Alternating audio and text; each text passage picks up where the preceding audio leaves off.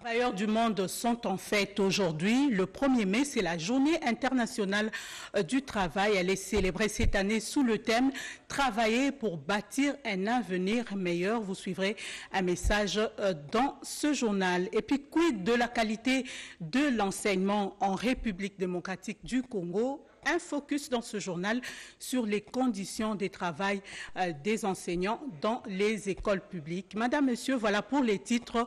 Bienvenue à ce midi actualité.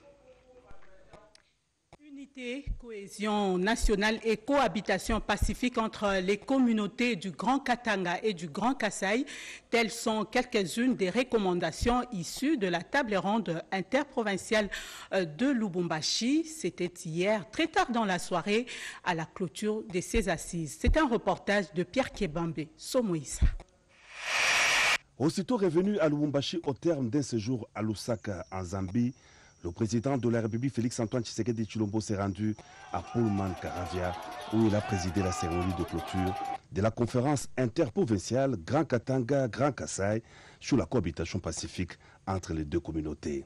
Au chapiteau, érigé au sein des installations de l'hôtel, le chef de l'État a rejoint en compagnie de son épouse, la première dame Denise Nyakeru Tshisekedi, l'assistance composée de tous les participants à la table ronde interprovinciale, en l'occurrence les gouverneurs de neuf provinces du Grand Katanga et du Grand Kassai, le Haut-Katanga, le Lualaba, le Tanganyika, le Haut-Lomami, le Kassai central, le Kassai oriental, le Kassai, les Sankuru et l'Omami.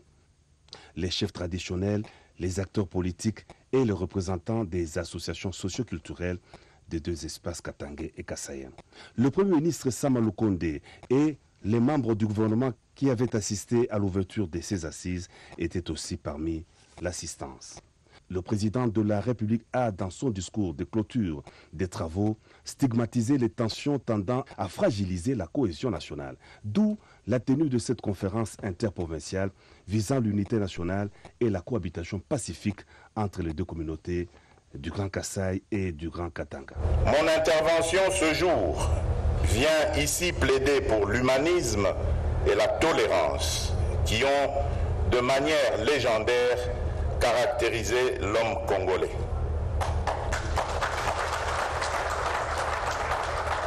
Ce, ce plaidoyer se veut en outre responsable dans la mesure où il invite chacun de nous au respect de son prochain, des us et coutumes, mais par-dessus tout au strict respect des lois de la République et à la non-perturbation de l'ordre public.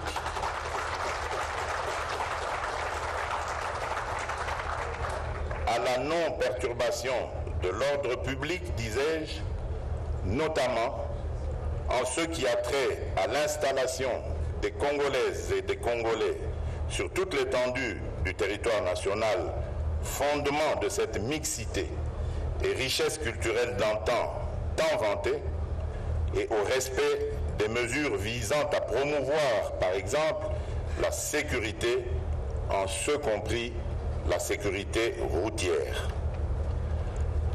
Enfin, cette adresse vient nous interpeller sur la puissance des mots et de leur responsabilité dans la construction d'un vivre ensemble et d'une identité que nous voulons renouveler pour un Congo meilleur. À cet égard, j'entends attirer l'attention des leaders politiques, des responsables religieuses et autres forces vives de la nation sur le rôle leur dévolu dans la construction de cette unité souvent sapée par les ambitions des uns et des autres. Puissent nos langues devenir de véritables vecteurs d'unité et non l'installation de barrières hostiles. Nous sommes un peuple, une seule et même nation, une nation qui continue de faire l'objet de menaces sur son intégrité et son patrimoine national, mais une nation que nous avons le devoir et la mission de protéger.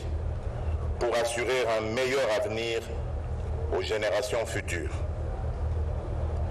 Préservons notre unité, notre solidarité et notre intégrité nationale. Le gouverneur du Haut-Katanga, Jacques Yaboula, a rendu un vibrant hommage au président de la République garant de l'unité et la cohésion nationale, initiateur de la conférence interprovinciale qui a permis aux frères et sœurs de se parler, d'aplanir les différends pour ne cultiver que la paix et le vouloir vivre ensemble.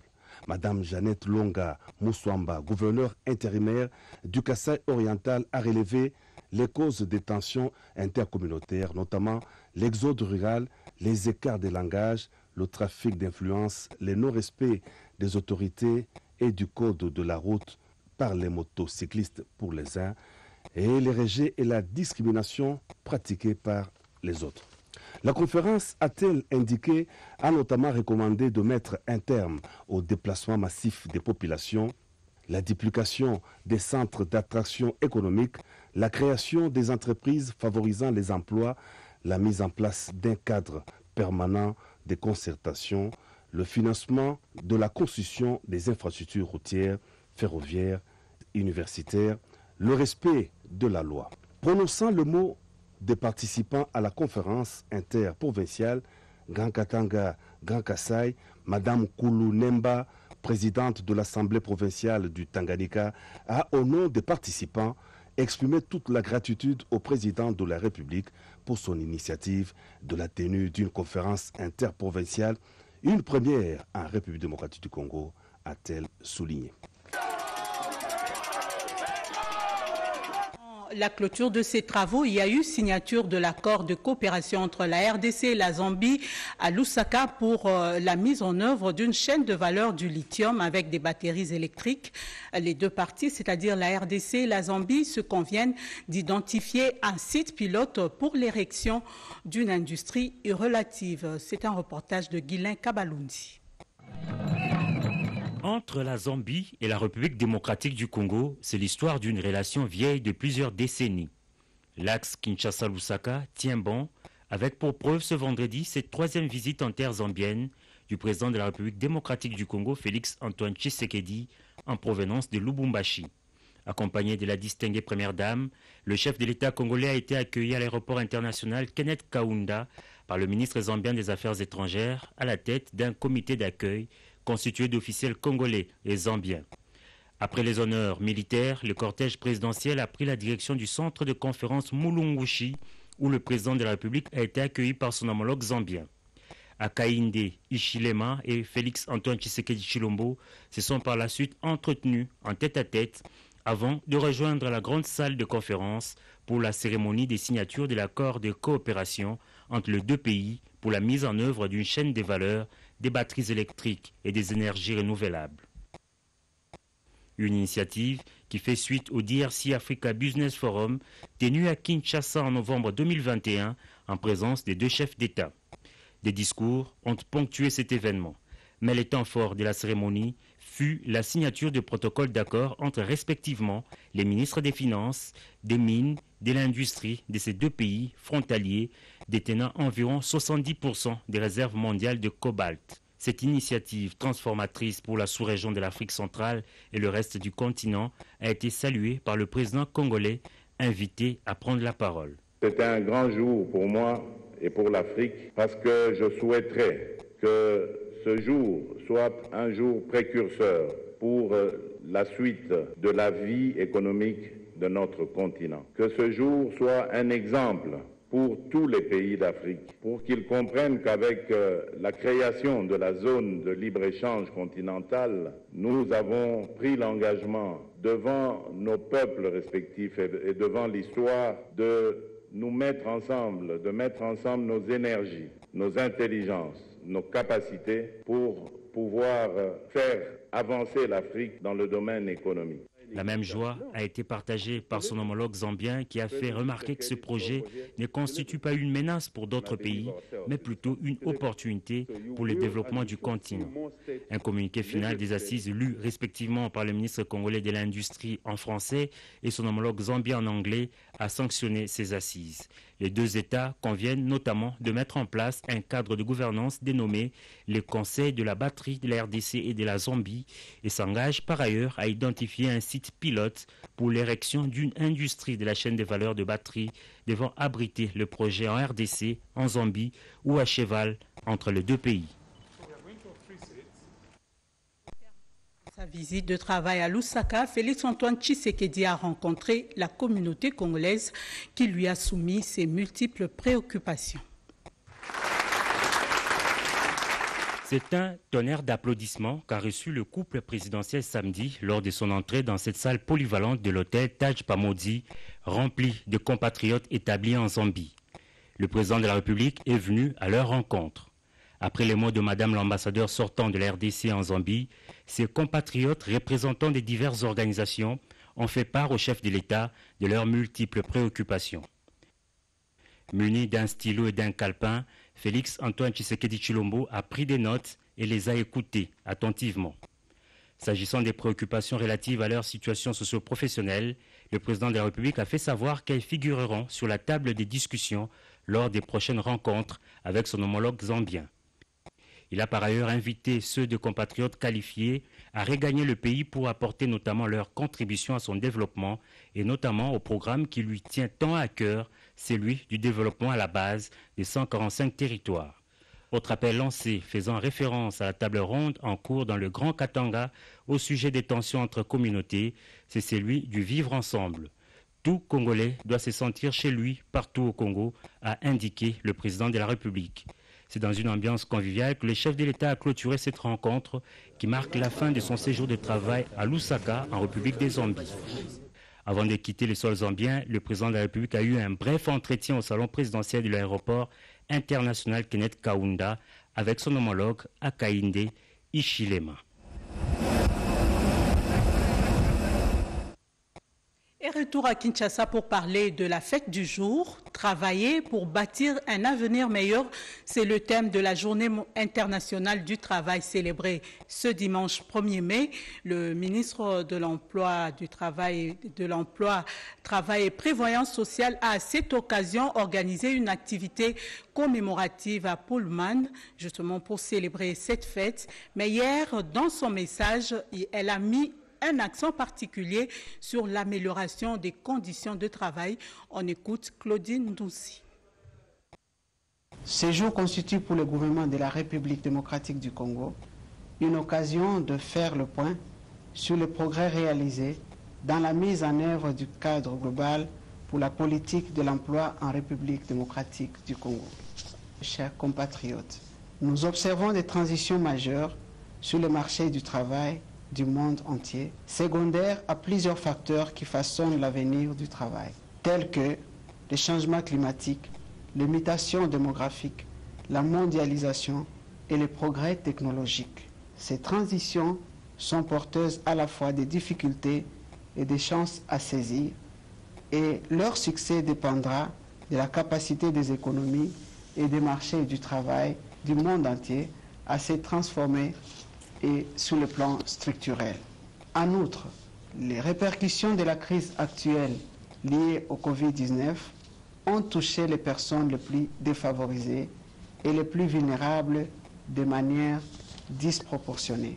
Cela aggrave les déficits de travail décent qui existaient déjà et augmente la pauvreté et élargit les inégalités. Comme si cela ne suffisait pas, voilà que la guerre d'Ukraine s'invite. Le progrès accompli en matière de travail décent avant la pandémie ont été pour la plupart réduits à néant. Dans beaucoup de pays, les lacunes préexistantes du marché du travail compromettent les chances d'une reprise rapide et durable. Le perte d'emploi et la réduction des heures de travail ont fait fondre les revenus. L'absence de système de protection sociale adéquat dans de nombreux pays n'a fait qu'aggraver les difficultés financières des ménages déjà économiquement vulnérables avec des effets en cascade sur la santé et la nutrition. Changeons de registre pour parler infrastructure. Il faudra à tout prix démonter le pont jeté sur le réseau ferroviaire Ndolo Kitambo au niveau euh, de l'avenue du Flambeau pour éviter le risque d'écroulement. Hier, le ministre des Infrastructures et son homologue des Transports ont constaté la dégradation très avancée de cet ouvrage. Pour d'autres détails, Eurydiski Toutou. Une situation aux allures inquiétantes. Ce pont jeté sur le réseau ferroviaire Ndolo-Kitambo risque de faire des dégâts si l'on n'y prend pas garde. Dégradé complètement et envahi par des constructions anarchiques, ce pont sera dans un premier temps démonté comme mesure préventive. Même s'il est vrai que ça fait déjà un bout de temps que le train ne passe plus ici, mais euh, aujourd'hui, il constitue une menace, euh, un danger pour euh, les usagers de la route. C'est pourquoi euh, nous avons estimé nécessaire de venir ici et de prendre les mesures qui s'imposent. Nous sommes en concertation effectivement avec euh, mon collègue des transports et la première mesure qui s'impose à nous, c'est qu'il faut d'abord parer au plus pressé en sécurisant notre population. Et pour cela, il faut absolument que ce pont soit démonté. Les travaux nécessiteront des déviations pour éviter les embouteillages. La SCTP, la HSGT et l'OVD sont à pied d'œuvre pour nous proposer un schéma qui euh, certainement euh, pourra être un schéma qui allège euh, la circulation dans la ville-province de Kinshasa. Mais il faudra aussi se dire que pour déposer ce pont, il va falloir fermer cette, cette voie. Donc, on aura des désagréments, mais vaut mieux euh, accepter la médication d'un médecin, qu'on puisse euh, vous donner la piqûre pour que demain vous puissiez guérir. Le projet de réhabilitation du train urbain de Kinshasa programme d'intégrer cette partie du patrimoine de la SCPT.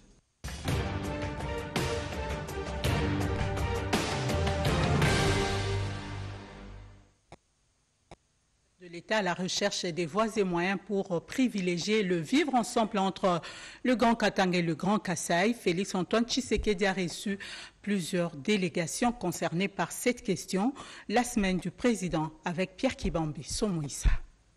Les Louchoises et Louchois se sont mobilisés depuis la matinée de mercredi 27 avril pour accueillir chaleureusement le président de la République, Félix Antoine Tshisekedi Chilombo, qui effectue une visite de travail à Lubumbashi.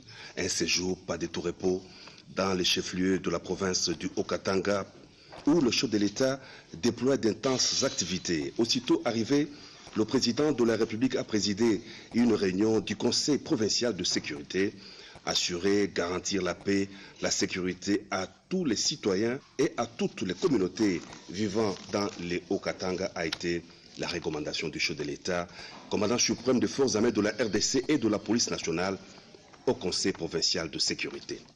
Le président de la République, Félix-Antoine Tshisekedi Chulombo, a aussi eu des entretiens avec les chefs traditionnels du Grand Katanga et du Grand Kassai. Les autorités traditionnelles de l'espace Grand Katanga ont présenté au chef de l'État leurs doléances relatives notamment au comportement de certains membres de la communauté kassaïenne se manifestant par le non-respect des us et coutumes locaux et les refus d'intégration. Les deux communautés katangaises et kassaïennes ont toujours vécu en parfaite harmonie depuis des décennies, a pour sa part souligné le grand chef Lemba Lemba, citant des fils du Kassai qui ont occupé des postes importants, notamment de président délégué général à Lubumbashi. Il a stigmatisé quelques égarements, notamment des motards avant de saluer la sagesse du président de la République pour son implication personnelle dans la recherche des voies et moyens susceptibles de trouver des solutions durables à la cohabitation pacifique entre les deux communautés. Poursuivant ses échanges à Lubumbashi avec les notables, leaders et acteurs politiques ainsi que la société civile du Grand Katanga et du Grand Kassai, le président de la République Félix Antoine Tshisekedi Chulombo a reçu une délégation des leaders du Grand Katanga, parmi lesquels des acteurs politiques, chefs des regroupements socioculturels. Conduits par les bâtonniers Jean-Claude Mouyambo, ils ont tenu à rencontré le président de la République, Félix-Antoine Tshisekedi Chilombo, pour apporter leur contribution aux échanges sur la cohabitation pacifique entre les communautés du Grand Katanga et du Grand Kassai vivant dans l'espace katangais. L'heure est à l'apaisement. L'on doit privilégier le vivre ensemble dans le respect mutuel entre les deux communautés.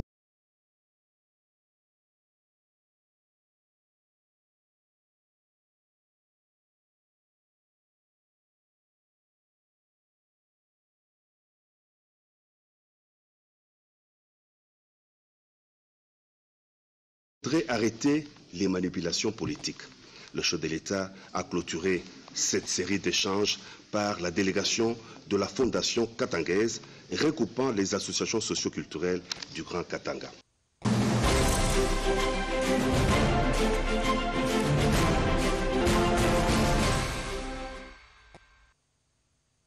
En RDC, quid de la qualité justement de cet enseignement en République démocratique du Congo, notamment dans les écoles publiques? Les enseignants, vous allez les entendre parler dans ce dossier, se disent démotivés à cause d'une mauvaise politique salariale dans le secteur de l'enseignement.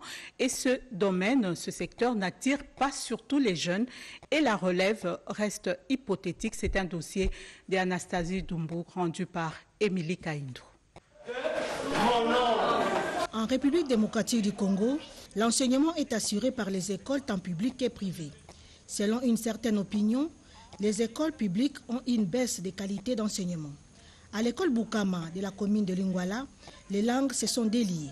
Euh, je, pense que bon, la qualité est là, mais tout ce que je peux dire, ça veut aujourd'hui, quand vous allez nous dire que demain nos enfants aussi pouvaient être enseignants, Madame, avec les conditions que nous avons aujourd'hui, je ne sais pas si parents qui peut accepter que son enfant aille dans l'enseignement. Hein. En ce qui concerne la qualité de l'enseignement, c'est vrai, ce n'est pas la même qualité qu'on avait quand nous étions élèves.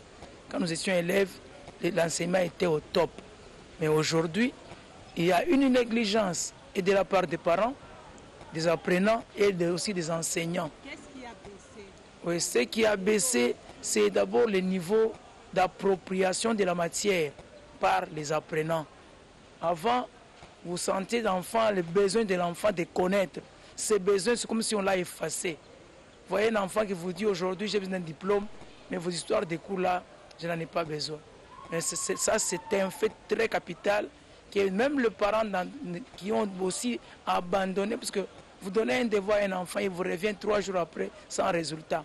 Que l'État congolais qui est notre maître et notre garant, puisse redéfinir l'enseignement, redéfinir les cadres de l'enseignement, redéfinir les, les profils d'un enseignant, qui doit être enseigné, qui ne doit pas l'être, puisqu'aujourd'hui tout le monde est enseignant et les enfants se perdent.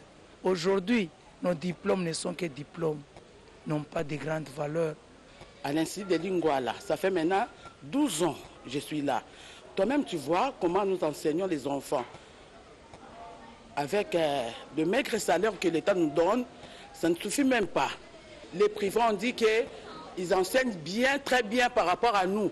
Parce que là-bas, ils ont des promoteurs qui ont beaucoup d'argent. Et nous, notre employeur, l'État, il ne nous donne rien et nous sommes délaissés. Pour les élèves futurs élites du pays, aucune motivation de devenir enseignant. Des raisons sont multiples. J'ai préféré de devenir journaliste comme vous aussi. Pourquoi? Parce que j'aime faire ça. Et pourquoi pas enseignant? Parce qu'ici au Congo, euh, on ne paye pas bien des enseignants. Et moi, j'aime seulement que je deviens un ministre dans ce pays. Mais les enseignants, là, j'aime pas. On nous apprend beaucoup de choses au tableau. Donc, ça me fait bien quand, quand je vois les profs à moi en train d'enseigner et madame. Donc, J'aime beaucoup étudier, être présent aux études. Parmi les propositions figure l'amélioration des conditions sociales des enseignants, mais aussi leur renforcement des capacités. 300, 300 000 francs congolais, c'est vraiment malheureux. Mais la qualité est là, nous enseignons très très bien. Il faut voir d'abord l'enseignant, 35 ans d'expérience, mais la qualité va de soi. Il faut qu'on nous paie quand même. Je me donne corps et âme pour les, pour les former, mais l'État doit nous prendre en charge. Puisque vraiment, nous sommes vraiment démotivés. Ça, ça fait mal, ça fait mal pour un parent. Formation. Puisque moi qui vous parle, j'ai eu au moins 5 ans de formation dans le DAS. Tout le monde ne profite pas de la même formation, puisque ce sont les écoles de l'État qui en profitent. Mais ce sont les privés qui sont plus nombreux que les publics. Alors les écoles publiques ont beaucoup de, des opportunités que les privés n'ont pas. Nous, c'est vrai, la formation continue est là, mais elle n'est pas pour tout, tout le monde. Nous chercherons qu'elle soit pour tout le monde. Si chaque année, la rentrée scolaire démarre souvent sur fond des revendications des enseignants et que chaque 30 avril, des manifestations sont organisées à l'honneur des enseignants, il y a lieu de penser à ces professionnels de la CRE qui s'investissent pour donner la forme aux enfants de la maternelle à l'université. Ces parcours que nous avons suivis tous pour devenir ce que nous sommes aujourd'hui. Accordons-leur notre attention.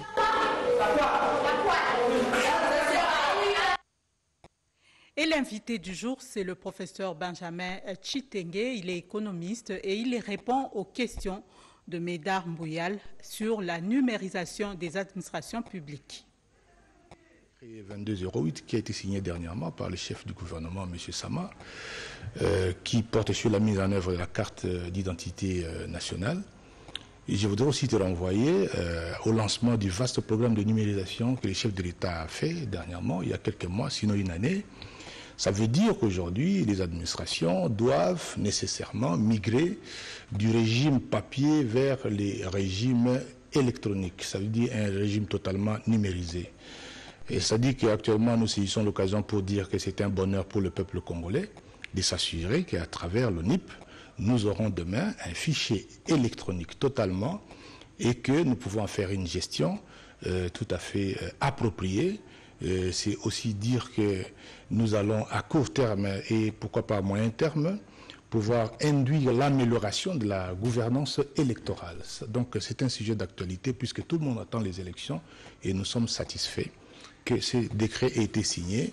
Et donc ça ne s'arrête pas là, il faut tirer, la sonnette d'alarme de sorte que les autres administrations, entités et services publics, même privés, puissent embrasser euh, la vision du chef de l'État qui consiste à numériser l'économie en général et pourquoi pas tous les services et les administrations de l'État. Et puisque vous parlez des administrations publiques, y a-t-il des cas que vous considérez comme étant des réussites, des cas qui sont assez performants dans le processus de numérisation? Oui, il y en a. Euh, vous savez, euh, je peux vous dire avec beaucoup d'honnêteté que les régies financières constituent une réussite pour le moment. Euh, vous savez, c'est le cas par exemple de la DGDA qui a lancé un processus de réforme et de modernisation depuis 2002. Si vous allez à la DGDA aujourd'hui, vous allez voir, elle est dotée des, de l'outil informatique dans tous les bureaux. Euh, vous allez vous rendre compte que la DGDA a un système de connectivité en interne qui fonctionne parfaitement bien. Et aussi, à travers les guichets uniques, la DGDA est connectée avec les autres services de l'État. Et même au-delà, la DGDA euh, est un service de l'État qui a un système informatique qui est connecté aux douanes des administrations sœurs qui sont tout le long des frontières nationales. La Zambie, la Tanzanie, le Kenya, l'Ouganda, le Rwanda, Burundi ont des systèmes informatiques douaniers qui sont connectés, interconnectés avec euh, celui de la DGDA. Donc ça, c'est une réussite. Dernièrement, ils ont fait le lancement du site pilote de Loufou, euh, il y a un dispositif informatique impressionnant. Je crois que euh, sous le leadership de Madame Kawanda Jeanne Blandine, qui dirige actuellement, le Loufou sera demain un point frontalier important qui va générer des recettes énormes pour le compte du Trésor public. Donc il y a également les télécommunications. Il y a aujourd'hui des institutions bancaires qui ont vraiment numérisé. Vous pouvez avoir l'argent aujourd'hui partout, sur la rue, sur les distributeurs. Hein, euh, la bancarisation n'était pas un échec. Donc euh, nous tirons la sonnette d'alarme pour euh, appeler les autres administrations, entités, quels que soient les secteurs, à pouvoir se lancer dans cette vision du chef de l'État, de sorte que notre pays puisse, n'est-ce pas, s'assurer de son développement intégré dans les jours à venir grâce à la numérisation, parce qu'elle présente beaucoup d'avantages. Alors la numérisation va vous permettre de pouvoir stocker vos informations correctement sur des des, supports informatiques. Toute une bibliothèque de 4-5 maisons, c'est sur un support informatique. Vous pouvez archiver correctement, vous pouvez structurer cet archivage, vous pouvez transposer ces informations sur des, logiciels plus importants, pourquoi pas dans des bases de données qui sont assis sur des protocoles sécurisés.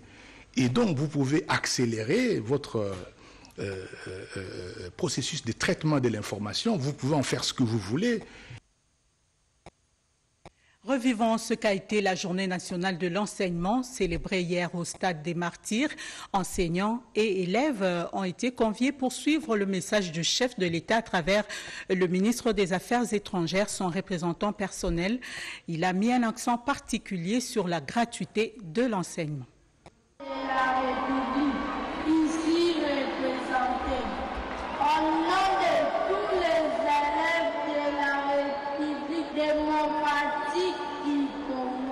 Serait notre société sans éducation? C'est pour garantir une éducation pour tous que le président de la République démocratique du Congo, Félix-Antoine Tshisekedi Chilombo, a fait de la gratuité de l'enseignement de base la priorité de son premier quinquennat. Plus de 500 élèves réunis au stade des martyrs ont accompagné ce samedi leurs enseignants. Une manière de célébrer de manière particulière la dite journée. Représentant personnel du chef de l'État, le vice-premier ministre Lutundula a transmis le message du chef de l'État en l'endroit des élèves et leurs enseignants. Comme a toujours déclaré le chef de l'État, Monsieur le Président de la République, depuis le début de son mandat, à la tête de notre République, l'éducation, la formation des jeunes, ainsi que la préparation à leurs responsabilités futures ont toujours constitué pour lui et pour le gouvernement de la République une tâche sacrée. La journée est une occasion idéale pour reconnaître à sa juste valeur la vocation portée par les professionnels de la CRE. Le chef de l'État avait ordonné la mise en œuvre de la gratuité de l'enseignement primaire dans les établissements publics conformément à l'article 43. Le chef de l'État a voulu honorer les métiers d'enseignant au-delà du fait qu'il l'avait déjà fait par euh, la gratuité qui a été rendue effective par lui-même, mais il a voulu aussi en ce jour manifester une fois de plus que l'éducation est au centre de son quinquennat. La situation des enseignants préoccupe au plus haut point le président de la République, Félix-Antoine Tshisekedi Chilombo, qu'il a décidé d'améliorer de manière graduelle leur situation. Aujourd'hui, l'État congolais a repris son pouvoir laissé entre les mains des parents depuis plusieurs décennies. Madame, Monsieur, c'est la fin de ce journal de la mi-journée sur la RTNC. Un journal sur fond euh, de la fête de travail au nom de l'équipe du dimanche. Je vous dis merci de votre fidélité. Bonne fête à tous les travailleurs. Prenez bien soin de votre emploi et aux employeurs de garder un bon climat de travail à vos travailleurs, à vos employés. Portez-vous bien d'ici là. Au revoir.